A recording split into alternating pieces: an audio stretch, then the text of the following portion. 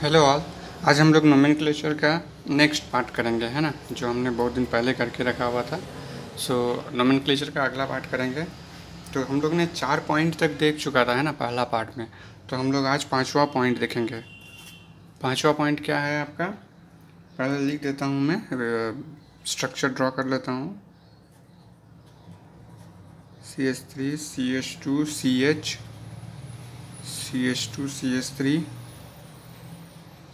H2 CH2 CH3 CH2 CH3 है ना? One two three four five six seven eight eight है। ठीक है? तो अब इसमें आप देख सकते हैं कि अगर आप इसको नंबरिंग करेंगे, है ना? हम पहले इसको इस साइड से नंबरिंग करते हैं ए साइड से, है ना? One two three four five six seven eight correct ये भी नंबरिंग होगा। अगर मान लेते हैं कि हम, हमने क्या देखा था पिछले रूल्स में, पिछले रूल्स में हमने देखा था कि अगर पहला, कोई भी सब्सिचुएंट्स पहला सब्सिचुएंट्स है ना, अगर आपका लोएस्ट नंबर पे आ जाए, अगर हम इधर से काउंट करते हैं वन टू थ्री में आ रहा है, अगर हम इधर से भी काउंट करें तो कितने में आ रहा है?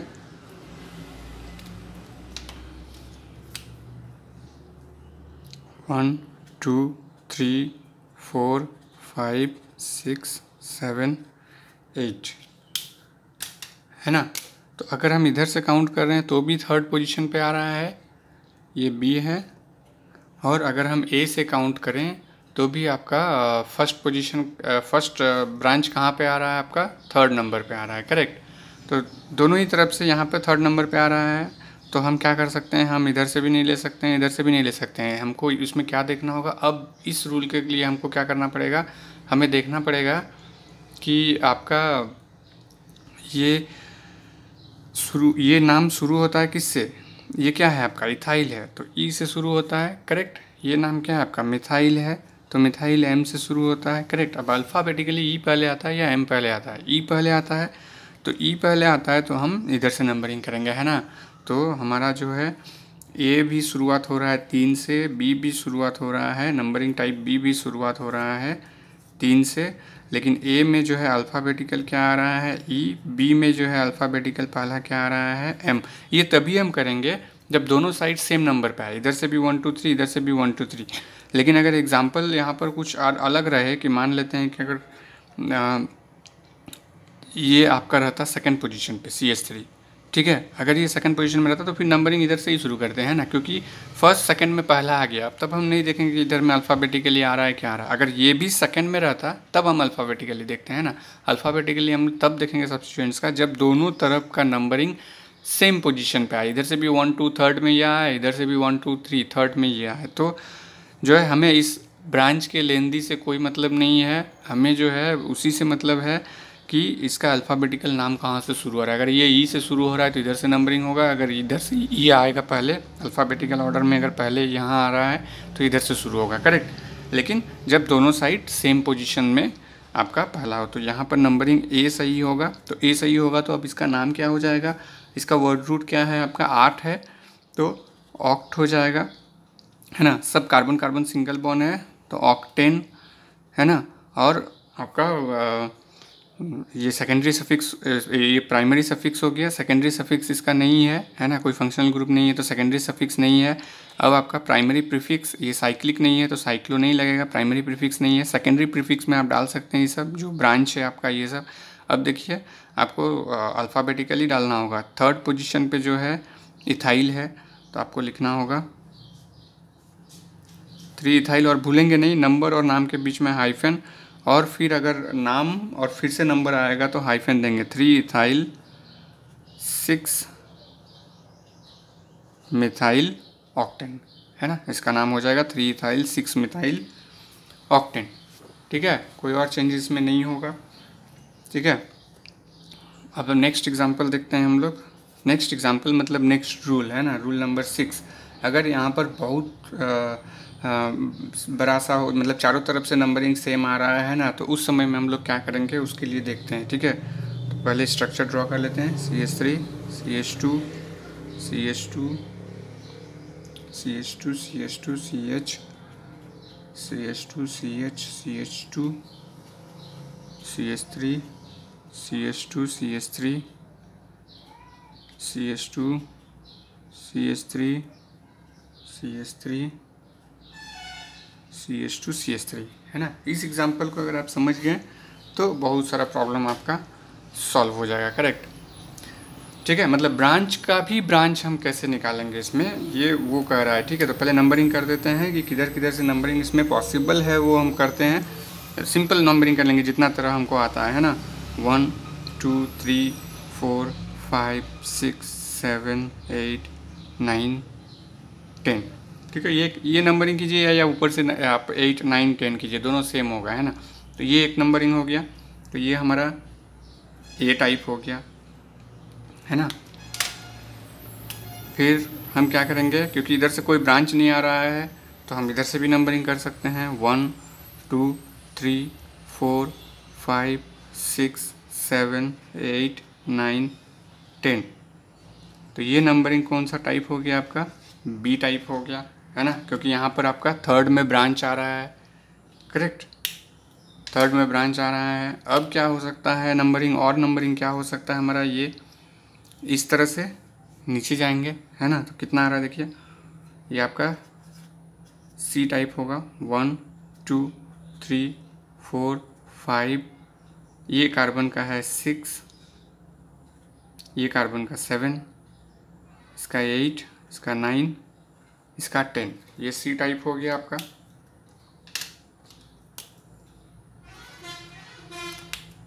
करेक्ट, और एक टाइप है, क्योंकि इधर से वन, टू, थ्री में कोई ब्रांच नहीं आ रहा तो इधर से भी हो सकता है नंबरिंग।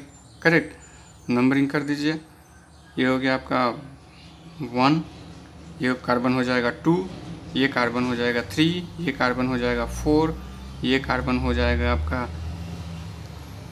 फाइव ये कार्बन हो जाएगा आपका सिक्स ये कार्बन हो जाएगा आपका सेवन ये कार्बन एट ये कार्बन नाइन ये कार्बन टेन और इधर से इधर जाने का देखिए one two three four five six seven eight nine हो रहा है। तो हम इधर नहीं जाएँगे, है ना? क्योंकि हमें जो है लॉन्गेस्ट चेन ढूंढना है।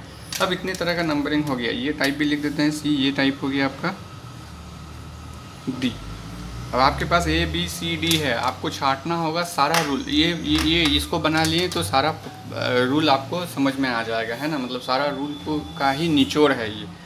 करेक्ट तो इसमें आप क्या करेंगे? जैसे देखिए पहले हम लोग ए टाइप को देखते हैं कि ए टाइप होगा बी टाइप होगा या सी टाइप होगा। तो हम जो है यहाँ पे देखते हैं।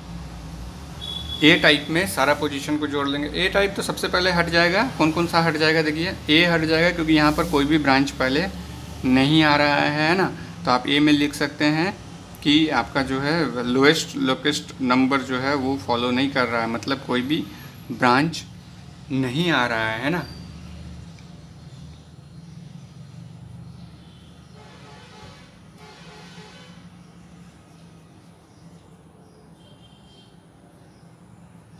है ना? इसको फॉलो नहीं कर रहा है। ब्रांच लोएस्ट लोकेस्ट रूल को फॉलो ये नहीं कर रहा है करेक्ट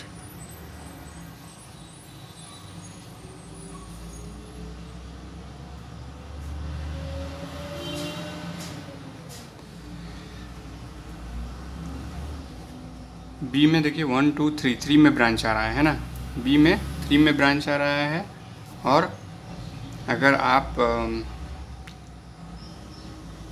डी देख रहे हैं तो वन टू थ्री में यहाँ भी ब्रांच आ रहा है।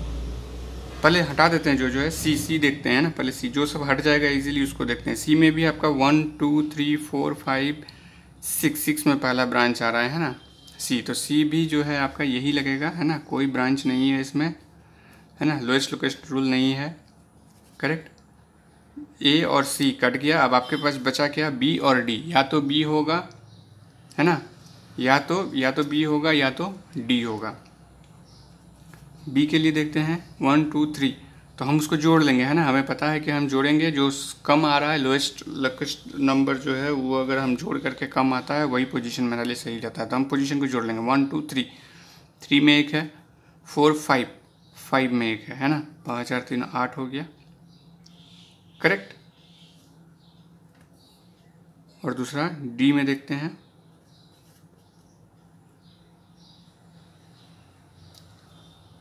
One, two, three. Four, five.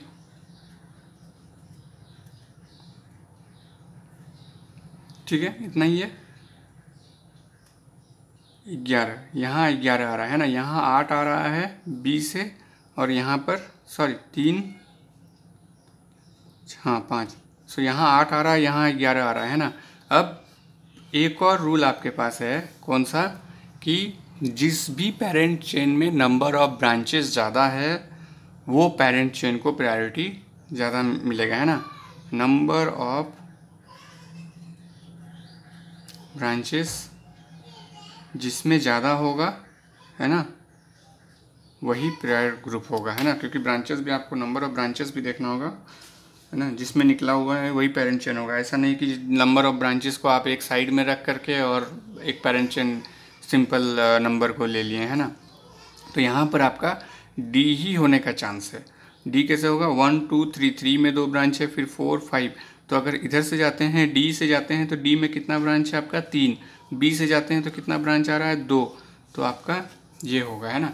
ये लोएस्ट लोकेस्ट नंबर का कैलकुलेशन हम तब करते हैं जब दोनों साइड में सेम ब्रांच हो और सेम ब्रांच होने के बाद जोड़ एक का कम हो और एक का ज़्यादा हो तो हम कम को चुनते हैं। यहाँ पर क्या है? यहाँ जोड़ करके दो ही आ रहा है, यहाँ जोड़ करके, यहाँ तीन पोजीशन का जोड़ हो रहा है ना? इसीलिए यहाँ पर जो है, आप इस रूल को ओवर रूल कर देगा ये नंबर ऑफ़ ब्रांचेस जिसमें ज़्यादा नंबर ऑफ़ ब्रांचेस है, वही आपका पेरेंट चेन में आएगा, है ना? तो यहाँ पर आपको पेरेंट चेन मिल गया डी टाइप है ना? तो डी आपका पेरेंट चेन है one two three four five six seven eight nine ten तो आप इसको कैसे नंबरिंग करेंगे? टेन है तो आपका वर्ड रूट क्या होगा? टेन है ना? डिकेन होगा। ठीक है? वर्ड रूट आपका डिकेन हो गया। और फिर आपका यहाँ थर्ड पोजीशन पे क्या है? मिथाइल इसको हम लोग डाई मिथाइल बोलेंगे। फिफ्थ पोजीशन में आपका क्या है? फिफ्थ पोजीशन पे आपका, फिर इधर से आप जो ये ब्रांच जो आएगा, इसको आप कैसे करेंगे? आपको यहाँ पर नंबरिंग करना होगा, इस तरह से one prime two prime three prime four prime क्योंकि जहाँ से ब्रांच अब मेन ब्रांच ये हो गया ना? अब आपका मेन ब्रांच कौन सा हो गया?